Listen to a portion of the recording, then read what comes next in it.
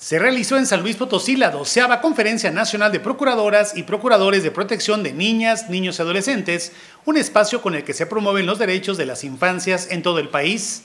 ante autoridades del Gobierno de México y representantes de los poderes legislativo y judicial, en el evento donde se destacaron las acciones de San Luis Potosí a favor de la niñez y la juventud. La Secretaría General de Gobierno reconoció al DIF estatal porque con una reingeniería integral se le dio un nuevo rostro y se promovió la cercanía con los potosinos, que tienen ahora en la dependencia un faro de esperanza y dedicación para las nuevas generaciones.